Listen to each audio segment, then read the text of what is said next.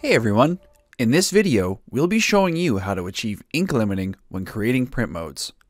It's the first and most important step in print mode creation, saving ink costs and also optimizing print quality on a variety of substrates. To start, go to the Devices menu and select Manage Print Modes. In the Print Mode Manager, select your device from the spectrophotometer drop-down list. Next, select a base print mode from the available print modes and click on the full print mode creation icon at the top of the dialog. Please note that your package must have the profiling module in order to use this. Name your new print mode and click OK. Now, in the full print mode creation wizard, you'll set your resolution and print options. For this one, I'm using 1440 by 1440 with small dots. Next, you'll create a reference to be used during the process of adjusting the ink limits. Make sure lower ink amount is selected near the bottom of the dialog and click on Print Ink Chart. The aim is to get the deepest colors without sacrificing quality and over-inking. Bleeding, coalescence, banding, and graininess are things you want to avoid.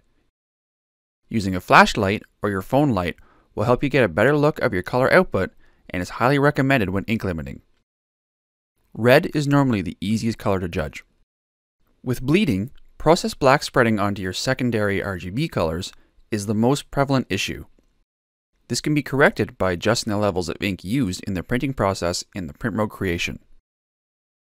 Coalescence or flooding occurs when the ink coverage is greater than can be absorbed by the substrate, but can look different depending on media.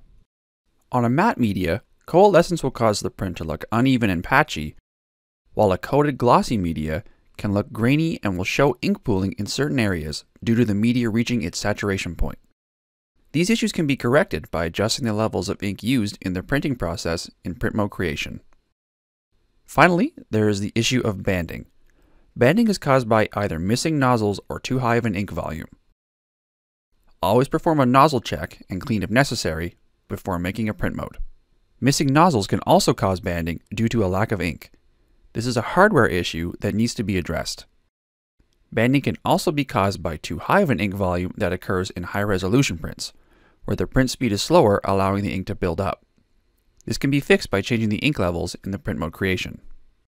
There are several additional items to consider when creating profiles or ink limiting. The technology used tends to exhibit different issues when you over ink. Solvent inks will have more bleed and coalescence, UV printing may show more banding, and DTG and DTF can have issues with color mixing with the white. Consider print speed. All inkjet printers can print better quality when printing slower. Unidirectional mode will always print less grainy than bidirectional. A higher resolution prints more passes and reduces banding. You may have a printer option to increase the number of head passes. When printing with a white ink in CMYK, you can have issues of ink migration.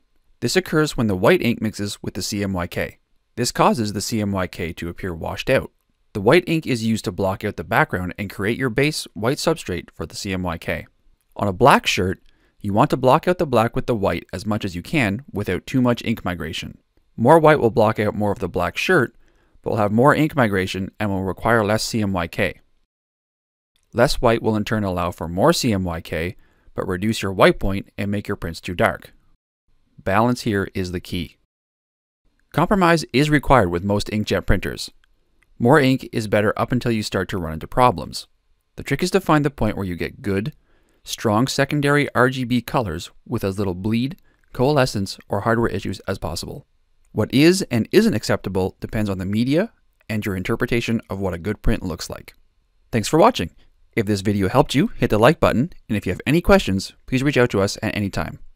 And don't forget to subscribe for more videos covering all of CADLink's products.